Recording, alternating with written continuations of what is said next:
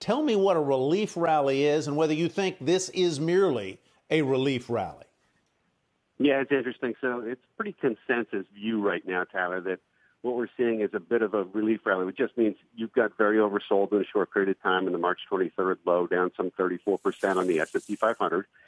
And then you're going to see investors say, okay, we've done too much damage in that period of time. And that was really quick from an all-time high to a bear market, the, the fastest we've ever done that. And say, okay, the news probably doesn't equate to the damage we've done let's let's catch a let's try to catch a bounce here, and, and we've seen a significant bounce. We see this all the time in bear markets. Going back to the last ten bear markets, we've seen significant pops in the middle, and uh, and we're going through that right now. Does that mean that uh, you know we're the middle of the range is, is where we can spend some time. We're 20% you know down from the highs and 20% up from the lows. Can we churn around this level for a period of time as we try to digest this tsunami of bad news we're about to get?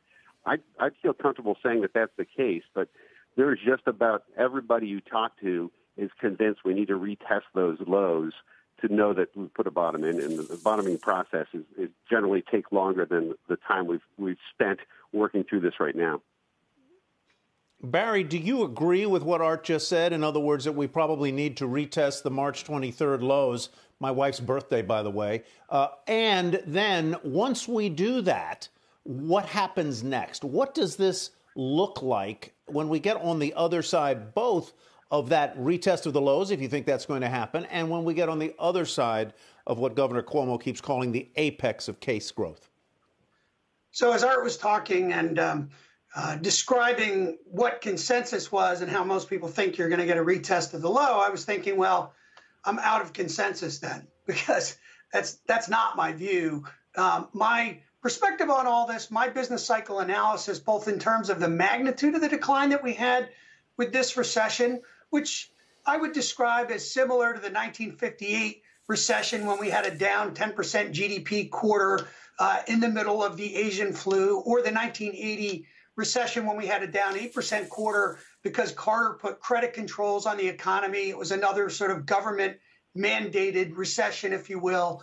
Um, those were short recessions. I think this one will be even deeper than either of those, but I think it'll be done by June. And so if you think about when the market bottoms relative to the end of recessions, March 23rd was exactly the right time frame. Furthermore, the magnitude of the decline was greater than any post-war recession except for 73, 75 or the last two bubble related economies.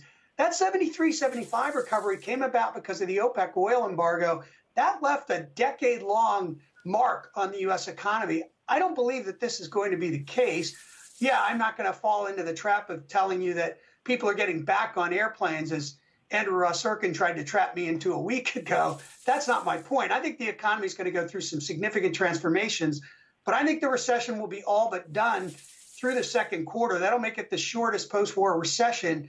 And so I think the low is in. Now, I agree with Art you know, going straight back up. I was asked this yeah. question over the weekend: Where are you going to at the end of the year? And I sort of put a 2,900 number on it, and we're kind of getting close to that fairly quickly. But I, I think that we do need to do some consolidation or create, create some sort of a base in here. That part I would definitely agree with. All right.